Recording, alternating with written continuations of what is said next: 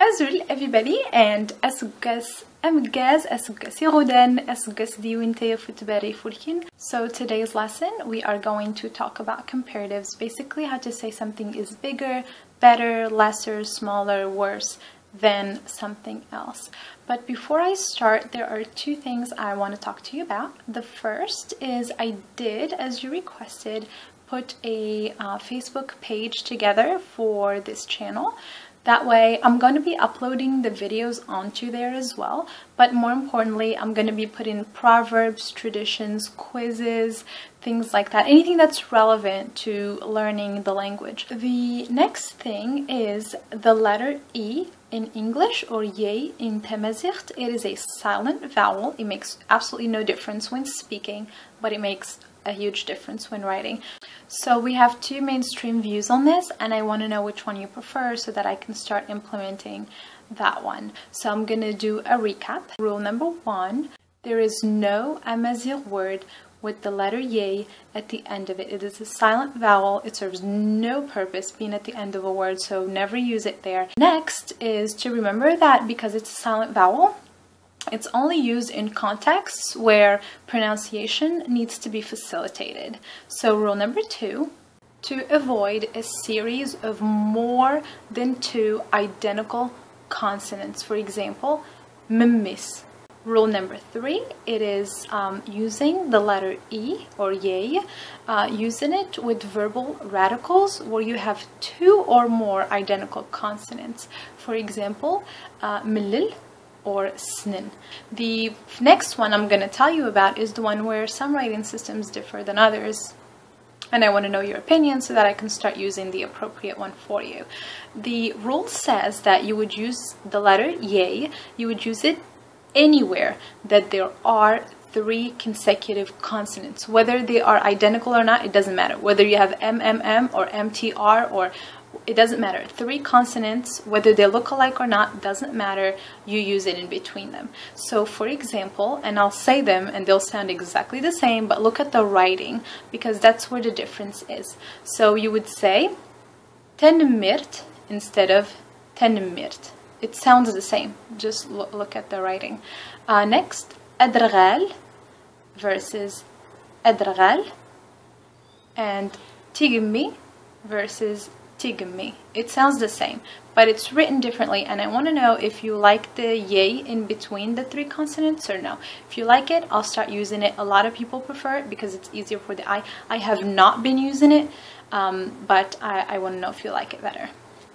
So that's it for these two things and now we can go on with the lesson. In Tamazight, there are basically three different ways in which you can express a comparative. The first is by using the word khif or the word fla. Khif, by language economy, we can also say kh or f only instead of the whole word khif. So I'll give you an example. تدرتينو تمقور خف تدرت نك تدرتينو تمقور خف تدرت uh, but when you, um, if you look at it, if you translate it literally, you, you are basically saying, my house is big than yours, not bigger. The word mqor, the word big, does not change. Um, saying khif or fla is enough to serve the purpose of a comparative. Another example, uh, using f instead of khif, urtink imzi furtino.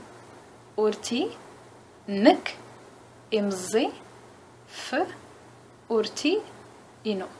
Now using the uh, word fla, fla means above, gumak or umak, gumak, irzif, flak. Gumak irzif flak. Uh, what you're actually saying in English is your brother has told above you. Fla means above, and here we said flek with a K at the end, and the K is just a pronoun replacing you. So has told above you. Flak, and it's just one word and it becomes flek. The second way of doing it is using the verb yuf. The um, yuf means better than, but in Tamazight, it's actually a verb. It's not an adverb or an adjective. It's a it's a verb itself, and it can be conjugated. Um, so the verb is yuf. So an example here would be tamazirtna tuf tamazirtnun. Note here how I used tamazirtna tuf instead of yuf, uh, because we have conjugated it for temazirt, which is a, uh, a feminine noun. Another example, aduku أزقاغ يفدوكو أوراغ أدوكو أزقاغ يفدوكو أوراغ uh, rule number three, and another way of doing it, uh, and this time this is another verb again, and it's yugr.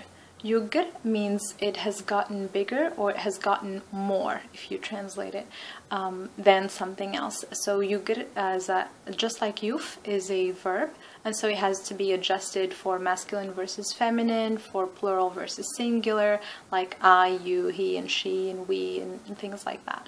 An example would be Turtit tugr, turtit, nun. Turtit, nr, tugr, turtit, nun. So these are basically the three ways you can compare things. First, you can either use khf or fla, and khf you can either, I guess, reduce it to just kh or f. The second way is by uh, using yuf, and that's mainly when you're comparing uh, quality.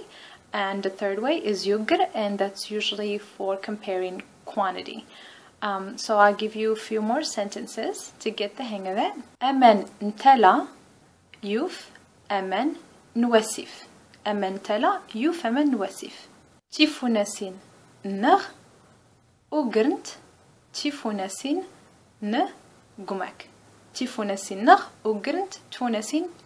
Guys, so after I finished making the video and sat around for like a good 30 minutes, I realized that I never gave you the conjugation for yuf and yugr, so I'm just gonna um, do it now.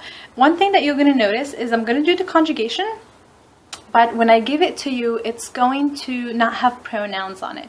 Because when we actually speak, we don't say, I ate. We just say, shir which means I ate.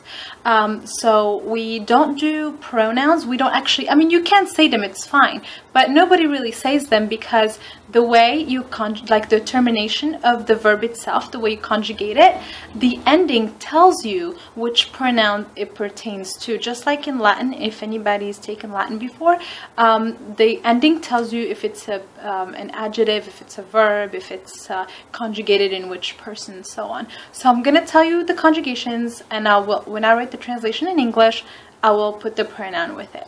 So for yuf, we would say ouvre, tuft, youth, tuf, nuf, tufen, tufend, oefen, oefend. For yuger, it would be uger, tugert, yuger, tuger, nuger, tugrm, Zugermt. Ogern. Ugernt. So this is the lesson for today. Please, please, please let me know which writing system you prefer. Another thing is, uh, again, just to remind you, I did create a Facebook page.